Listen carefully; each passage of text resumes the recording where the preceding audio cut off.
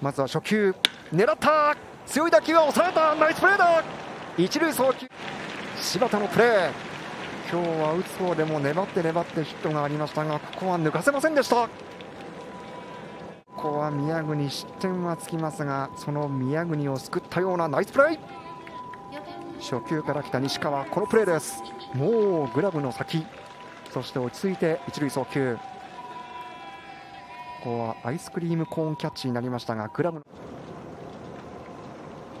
中に入ったセンターへの打球は桑原下がって下がって抑えた！体勢を整えてボールを候補しましたセンターの桑原。風は今ほとんどないという状況。このプレーです。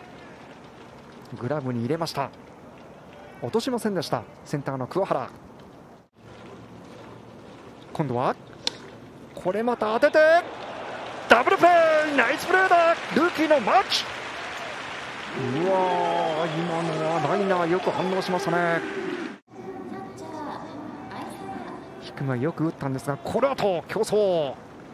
牧の勝ち。どちらが速いか牧が速い。いやとにかく速かったこのタッチ